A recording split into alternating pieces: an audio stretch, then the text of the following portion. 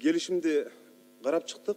Урматтуу транспорт министринин орун басары айтсаңыз тогуз миллион беш жүз миң доллар э, грант болуп атат туурабы? Бул жерде турат.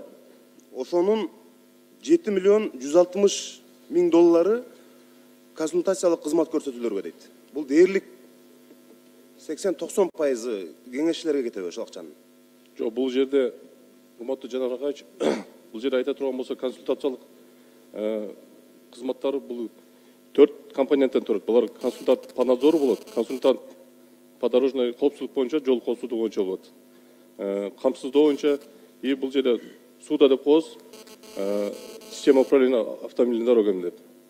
Төрт компоненттен турат бул жок мына биз азия өнүктүрүү банкынан алып аткан гранттын көлөмү тогуз миллион беш жүз миң доллар деп атабыз консультациялык кызмат көрсөтүүлөргө жети миллион жүз алтымыш миң доллар андан сырткары долбоорду башкаргандар үчүн бир миллион эки жүз миң доллар көчүрүүгө чыгымдар дейт жетимиш миң доллар. Анан бөлүштүрүлбөгөн каражаттар турат бир миллион жетимиш миң доллар.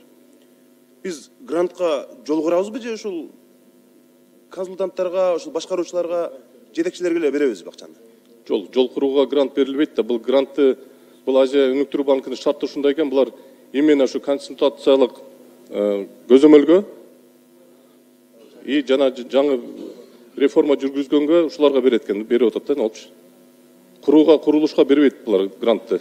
Жок курулушка жана алтымыш сегиз миң беш жүз миң доллар алып атпайбызбы кредитчи. Ооба. А бирок мисалы мына жети консультант иштей турган болсо эгерде ошол жол ал долбоор даяр уже курулуп аткан жол да ал баары бар туурабы даяр буга чейин иштеп аткан жол. Анан мисалы жети консультант иштесе бир миллион доллардан а- жок бул э, полностью жаңыланат да жаңы жол болот да бул жерде түндүк түштүк альтернативдүү жолдун дагы кайсы бир бөлүгү курулат туурабы балыкчы балыкчы кочкор кочкор эпкин болот да. Жок ушул консультанттарды ким аныктайт эми мисалычы жети миллион акча бул боюнча биз азыр э, тендер болот тендердин негизинде банк менен макулдашылып анан булар менен келишим түзүлөт да. Кыргызстандыктары булар консультанттар эл аралык компаниялар болот бул жерде надзор эл аралык компанияларга только присуждаться этилген да только ошолор келет жана ошо долбоорду башкарганына эле бир миллион доллар кетет анан бул консультанттардан сырткары дагы долбоорду башкарууга бир миллион жетимиш миң доллар кетет деп турбайбы жок бул жерге жана беш эмнеси жылдык грант дейм да анда. Грант маселе бул бүт ошол каражаттар кетет экен да анда. Өздөрү кайра алып кетет турбайбы анда. Туурабы бул жерде консультациялык надзор бар. Консультанттардын өздөрү төрт компоненттен сизге айтып кетпедимби ушу төрт компоненттен жок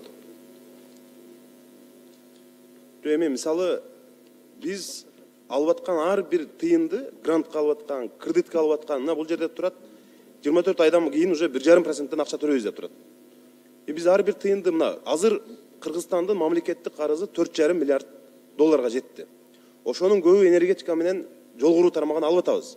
А бирок ушинтип консультанттарга жети миллион доллар долбоорду башкаргандарга миллион доллар деп отурсак кандай болот дейм да бул мындай болбойт го бул макулдашууну башынан сүйлөшүлгөндө ушундай көрсөтүлгөн экен азия өнүктүрүү банкы өз тарабынан ушундай э, шарттар койгон экен биз ушуларды көтөрүп берели депчи алар э, грантты курулушка эмес ушундай консультацияга реформага ушундай нерселерге только берилет экен да алар тарабынанчы азия өнүктүрүү банк тарабынан